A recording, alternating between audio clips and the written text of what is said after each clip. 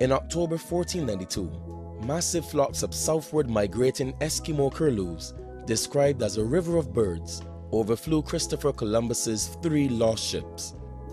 Guided by the curlews to an island landfall, the Italian-born explorer claimed discovery for Spain of the fabulous New World, including its land, people, and birds.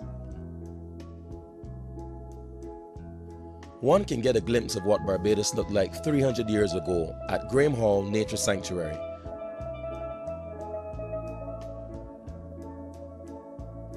Graeme Hall contains the last significant wildlife reserve and mangrove forest on the island. For centuries, Graeme Hall was a stopping point for migratory birds traveling the Caribbean flyway between North and South America. Attracted by inland ponds and bays teeming with fish, Sandpipers, plovers, egrets, and many other species flock to Barbados in vast numbers to nest and rear their young. But since 1626, Barbados has lost most of its forest cover and pristine habitat as sugar plantations and development changed the landscape.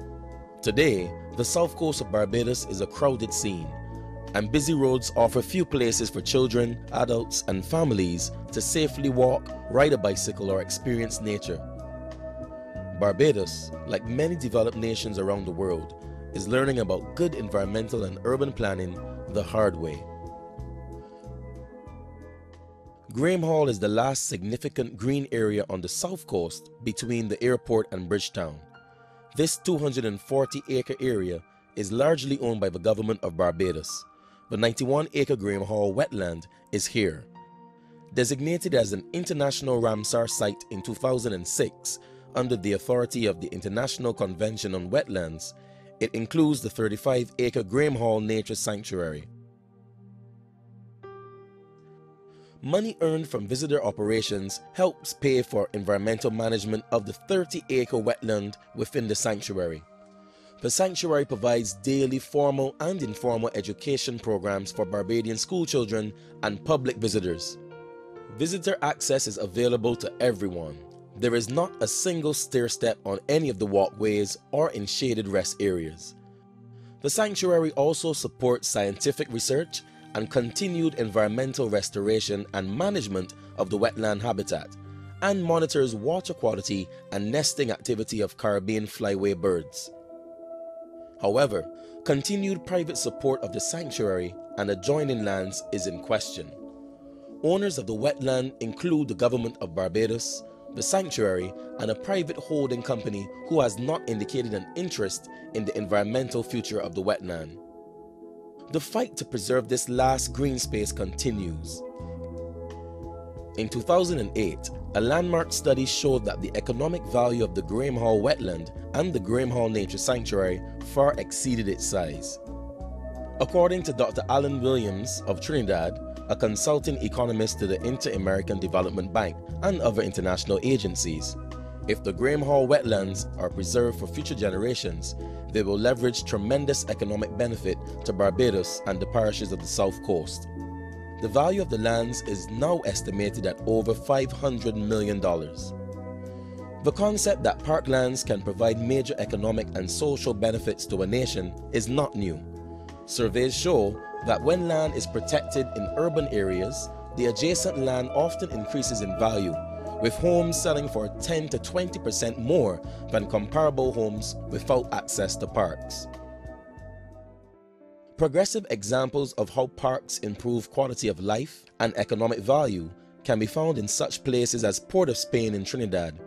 There, the 260 acre Queen's Park Savannah was acquired as a parcel of land known as Paradise Estate in 1817 and regulated as a park in 1882.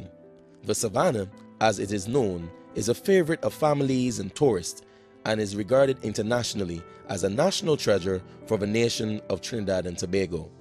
And in New York City, the 843 acre Central Park provides recreation, entertainment, and tranquility to millions each year. Studies have proven that over a trillion dollars in economic and social benefits accrue to surrounding New York City and to the state of New York each year. But Central Park almost didn't happen. Over the heavy objections of local developers and politicians, the land was finally acquired in 1858. In retrospect, the decision to preserve these open green spaces may not have been supported by any justifiable data or knowledge at that time. In hindsight, they appear to be wise visionary decisions rather than knowledge based decisions. In 2007, citizen protests helped defeat an attempt by a foreign developer to build a water park in the environmental bufferlands surrounding the Graeme Hall wetland. In the same year, over 6,000 local Barbadians signed a petition to create Graeme Hall National Park, a 240 acre green area which includes the Graeme Hall Nature Sanctuary and adjoining wetlands. There is evidence of growing international support for the new park. In 2008, the newly elected government of Barbados, led by Prime Minister David Thompson, recognized the tremendous multi-generational economic and social value of Graeme Hall and began investigating specific ways to combine local, international, and private support to preserve the legacy.